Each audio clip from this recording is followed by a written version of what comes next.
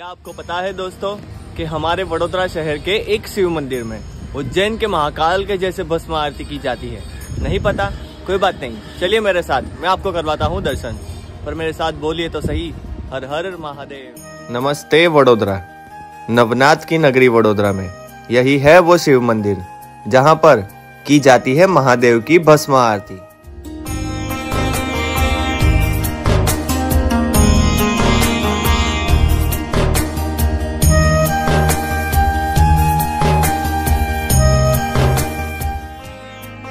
यह भस्म आरती अमावस के दिन, शिवरात्रि के दिन और श्रावण महीने के हर सोमवार को की जाती है।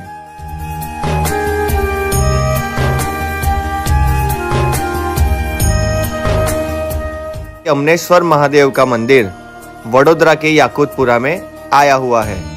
आप भी मेरी तरह शिव भक्त हो तो कमेंट सेक्शन में हर हर महादेव ज़रूर लिखिएगा।